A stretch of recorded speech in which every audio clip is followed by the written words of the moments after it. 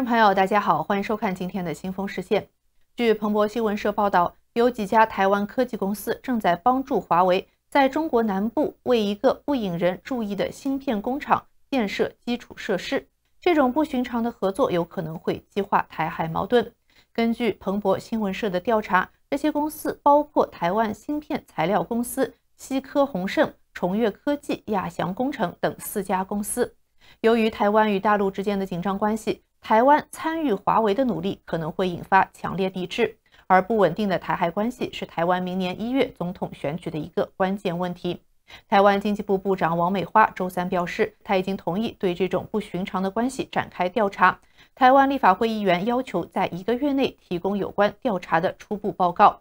经济部官员表示，将主要调查这些公司是否在台北批准的申请范围内在中国大陆开展业务。反对人士担心，这些在台湾公司帮助下建造的华为工厂所生产的芯片，最终可能用于中国针对台湾的行动。如果蔡英文政府不加强对本土企业支持华为的控制，那么他就不是认真对待台湾的国防。华为可以说最近在各个方面都处于风口浪尖。华为八月下旬推出一款采用先进中国制造芯片的智能手机后，也引起了华盛顿的警惕，并且呼吁彻底切断华为与芯片制造商中芯国际的联系。现在华为的一举一动都会引起激烈争论，连五眼情报组织也坚称华为 5G 技术存在巨大的情报风险。华为当然是否认这一指控。五 G 技术的出现可以说导致了国家之间正式的秘密战争，它甚至被纳入军情六处的报告中，并称中国将最终凭借这项技术接管世界的领导地位。全世界的官员都非常关心五 G，并且与中国进行各种对抗，但实际上对五 G 技术发展的细节我们知之甚少。华为是如何达到今天的技术实力，令西方国家如此警惕的呢？这背后，华为要感激一个土耳其人。在二零一八年，任正非在深圳举办了一场非凡的仪式。他邀请了一位土耳其科学家来到深圳的会议中心，并向他颁发了精致奖章，以表彰他对通信技术发展的杰出贡献。这个人就是被称为“极化码之父”的阿里坎。极化码是一种新型的编码方式，已经被列入 5G 移动通信的控制信道编码。这是信道编码领域近年来的重大突破。在华为准备的仪式中，伴随着莫扎特的土耳其进行曲，大家热烈庆祝阿里坎教授的到来。任正非也亲自走上红毯迎接他。为什么要如此兴师动众呢？因为阿里坎解决了信息世界长达半个世纪的问题。阿里坎是一位幸运的科学家，他在2008年发表的极地码学术研究，在短短十年后就得到了实现。他原本并不认为实际应用会在短时间内实现。他在华为为他举行的仪式上说：“对于科学家来说，没有什么比看到自己的想法变成现实是更大的回报了。”华为也感谢阿里坎，因为正是他为华为在 5G 技术上提供了巨大的竞争优势。华为 CEO 郭平当时说：“阿里坎不仅是土耳其的英雄，也是通信行业的英雄。他的发明和对电信业的改进将会重塑信息世界，也许将影响到下一个世纪。” 5G 的速度要比 4G 快一百倍，每公里可以连接一千万台设备，其大容量可以使数字产业渗透到生活的方方面面。世界经济论坛和电子工程协会等国际组织指出，5G 将会打开新应用的大门，提高机器人、物联网、机对机通信领域的效率。这种新的移动技术将会引发工业革命，因为有了 5G，云计算、人工智能、工业物联网才可以瞬间连接一切。也就是说，及时监控数据，并且在很短的时间内达到先进算法的分析。它带来的结果就是，工厂可以最有效地利用资源和能源进行定制生产，而不会造成浪费。医院可以提供个性化的医疗服务，城市管理部门可以及时控制城市上层建筑和基础设施，可以预测电力、水和天然气网络的故障，可以及时改变红绿灯等待时间，优先考虑繁忙方向。而无人驾驶汽车、无人机和机器人等自主物体也可以因为即时数据的获得而更加安全、精确地移动。这也正是为什么华为在掌握了 5G 技术之后，令西方世界如此警惕的原因。然而，5G 技术也有更高的要求，它需要更多的基站，更多的基站也就意味着更高的投资成本和更多的能源消耗。正是在这里，阿里坎发明的新编码方法极地码开始发挥作用。极地码不仅可以显著提高 5G 的通信性能，还可以通过降低编码复杂度来节省能源。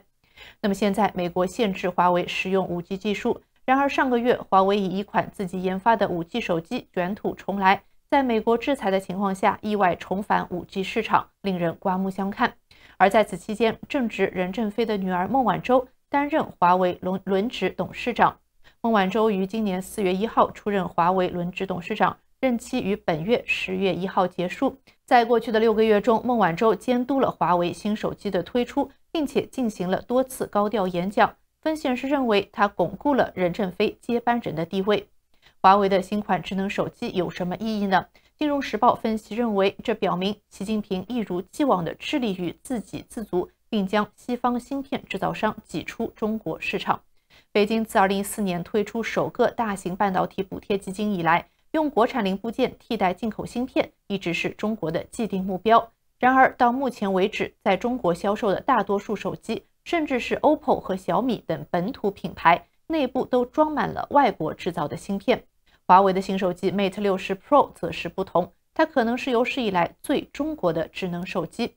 除了手机的主要七纳米处理器之外，手机中的许多辅助芯片也都是国产的，包括蓝牙、WiFi 和电源管理芯片。九月二十五号，华为在深圳举办最新产品发布会。发布会上，华为避免谈论 Mate 六十，但是展示了平板电脑和其他设备，并且誓言要提高智能手机产量，以满足不断增长的需求。与美国的紧张关系也激发了国内对这些设备的热情。近日，在上海的一家华为专卖店，一位一直在使用 iPhone 的消费者表示，想换成华为手机，以此支持中国的自制品牌。而随着华为新手机的上架，北京也同时宣布设立一项四百亿美元的新基金，继续向国内芯片制造商提供补贴。北京似乎还帮助解决针对华为的主要竞争对手苹果。华为手机发布之际，有报道称，中国政府机构和国有企业不鼓励员工购买苹果手机。而美国的半导体行业也越来越反对华盛顿的种种限制。就在今年七月，美国半导体行业的各大首席执行官们还前往华盛顿，共同表态反对对中国实施新的限制。因为随着美国的芯片被中国本本地的版本所取代，他们的市场份额将受到严重威胁。经过多年的升级，中美之间的芯片冲突已经到了关键时刻。今年秋天，拜登政府预计将会最终确定出口管制，并且扩大限制中国客户获得美国技术的范围。彭博社指出，最终这场斗争将不是关于智能手机，而是关于人工智能和超级计算等具有战略意义的重要应用，包括军事技术。